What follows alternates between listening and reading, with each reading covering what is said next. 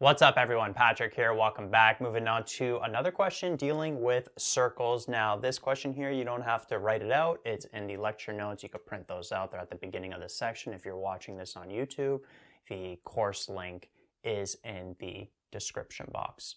So we have a stone that drops in the water, creating a circular ripple.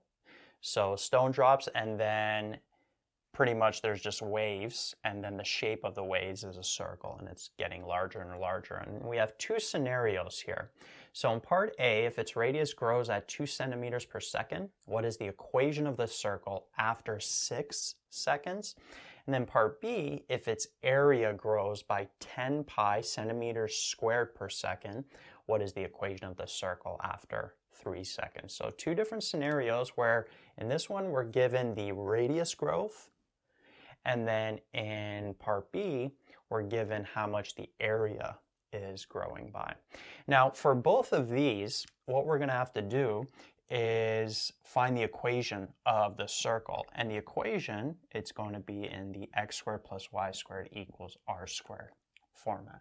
Now, one thing I want to mention here is that it doesn't really, here, this doesn't really relate to the Cartesian plane.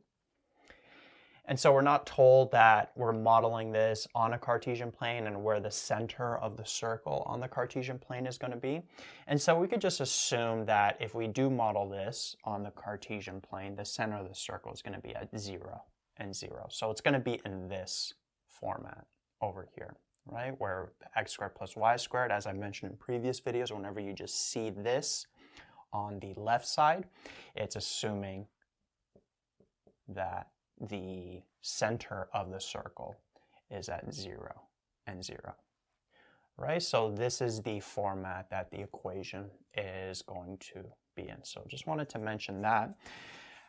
So really what we have to find for both of these scenarios is the radius. And once we have the radius, we just have to plug that in there, and then we have the equation of the circle. And so finding the radius in part A, it's going to be a little bit easier than part B because we're told how much the radius is directly growing at. It's growing at 2 centimeters per second. And so what is the equation of the circle after 6 seconds? Well, if it's growing at 2 centimeters, what's the radius going to be? If it's growing at 2 centimeters per second, so the first second it's 2 centimeters, the second second it's 4 centimeters, 6, etc. What's the radius going to be after 6 seconds? Well, we would just multiply this by 6, right? Because we have seconds, and then over here we have seconds as well. You got to make sure that both of these are um, in the same units. So this is per second, and then this is seconds over here. If this said maybe like six minutes, let's say, then we would have to take the six minutes, convert it to seconds by multiplying it by 60, right? So then we would plug in 360 over here. But it's at 6 seconds, so we just plug in a 6 over here. 2 times 6 would give us 12. So the radius of the circle after 6 seconds is 12. So now we just simply plug in that 12 for the radius. We end up with x squared plus y squared is equal to 1 44. So that's the answer to part A. That's the equation of the circle after six seconds. Now what about with part B?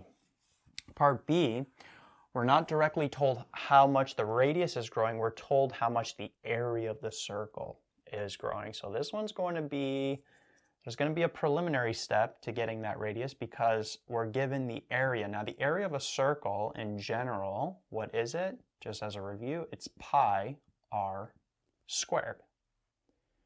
Right, it's pi r squared. And so what we're going to have to do is we're going to have to actually solve for that radius first within this equation for the area of a circle. And then once we have the radius, we could plug it into that formula. So first thing, if its area grows by 10 pi centimeters squared per second, what is the equation of the circle after three seconds? So we have to figure out first, what's the area going to be after three seconds? Well, if it's growing at 10 pi centimeters squared per second, in two seconds, it's going to be 10 pi plus 10 pi, which is 20 pi. So it's going to be 20 pi centimeters per second. And then at three seconds, you add 10 pi again, it's going to be 30 pi. Or you could take this and multiply it by 3, which would give you 30 pi. Okay, so the area that we're dealing with is going to be 30 pi centimeters squared. So that's what we would plug in here, and then we have pi r squared. And we have to just solve for that radius now, given the area that we're working with. And how can we do that? Well, notice that we have a pi on both sides, so we could actually divide both sides by pi to get rid of that. And actually, we end up with 30 equals r squared.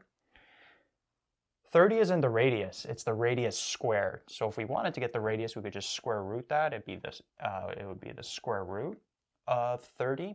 But notice that over here, we have to plug in r squared anyways. So we could just plug in 30 directly. We don't have to go and find the radius and then take that and plug it in here because we'd end up, the square root of 30 squared would just give us 30. Because we're plugging in for r squared there, we could just plug in the 30 directly. And so the answer to number two would just be x squared plus y squared is equal to